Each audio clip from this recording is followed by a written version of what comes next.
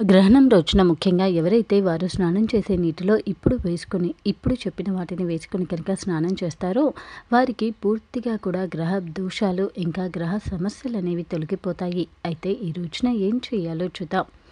ఈ డిసెంబర్ ఆరవ తేదీ రోజున అంటే మార్గశిర మాస అమావాస్య తిథి కలిగిన రోజున గురువారం రోజున సూర్యగ్రహణం రాబోతుంది. ఇది భారతదేశంలో చాలా స్పష్టంగా కనిపిస్తుంది.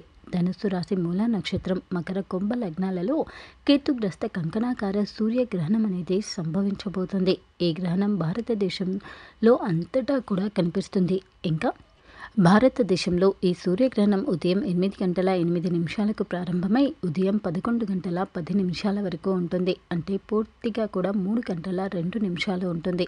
గ్రహణ సమయంలో సూర్యుడు అగ్నివలయాకారంలాగా ఇంకా గ్రహణం చుట్టూ కనబడతాడు.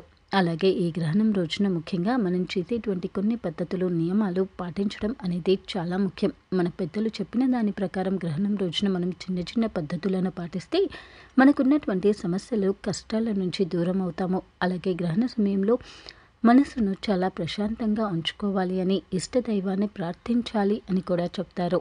అలాగే మార్గశిర మాసంలో చేసే ఆప్తికాది కార్యక్రమాలు ఎంతో పుణ్య ఫలితాన్ని ఇస్తాయి. అందుకే గ్రహణం రోజున ఆప్తికాది కార్యక్రమాలు చేయడం కూడా చాలా విశేషమైంది.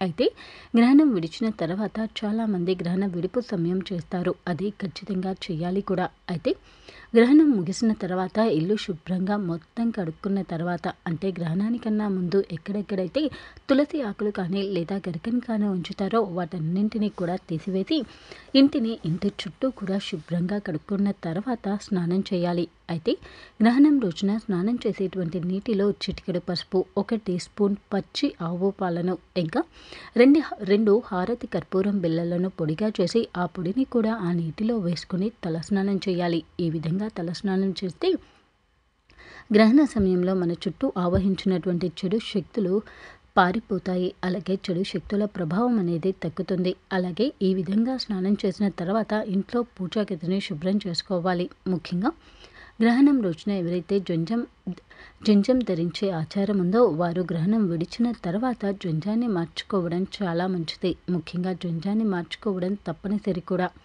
అలాగే మన ఇంట్లోని పూజా గదిలో ఉన్నటువంటి దేవత విగ్రహాలు యంత్రాలు ఏవి ఉన్నా సరే వాటన్నింటి మీద కూడా పసుపు నీటిని చల్లడం చాలా మంచిది.